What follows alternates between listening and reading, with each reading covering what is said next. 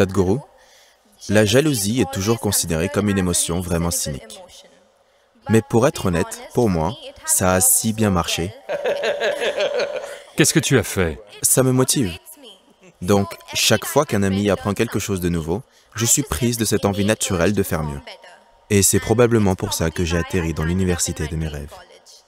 Alors, pensez-vous que la jalousie soit vraiment une émotion négative? Ou est-ce qu'elle vous motive à faire mieux? Regardez, ces jours-ci, heureusement ça n'existe plus. Quand nous étions jeunes, en particulier Diwali approche. À l'approche de Diwali, dans les petites villes, l'une des choses qui amuse les gens, c'est... Ils remplissent une boîte pleine de pétards et l'attachent à la queue d'un âne. Quand ça part, dom dom dom, le pauvre âne court dans tous les sens, plus vite qu'un cheval. Vous pensez que c'est comme ça qu'on motive la vie?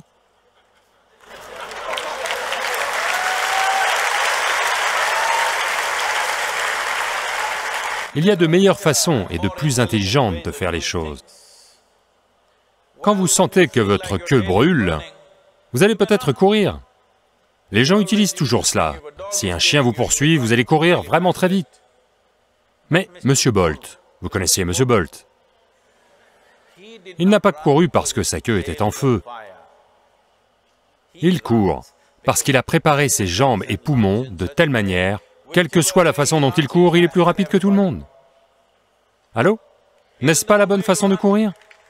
Vous voulez courir parce qu'un chien vous poursuit? Vous voulez courir parce que votre queue est en feu? C'est comme ça que vous voulez courir? Non, ce n'est pas une façon agréable de courir. Voyez, une chose importante est que vous couriez vite. Une autre chose est que votre expérience de la course soit fantastique. N'est-ce pas important? Allô? Eh bien, tu es entré dans l'université de tes rêves. Mais ça pourrait être l'enfer, trois ans, trois ans d'enfer, qui sait?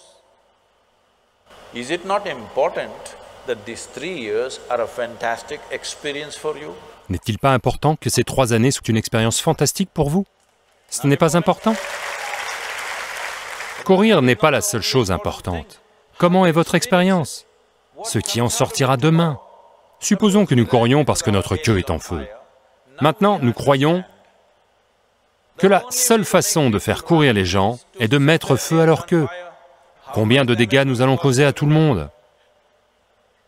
Et j'ai vu ces ânes courir plus vite qu'un cheval de course, parce qu'ils sont terrifiés.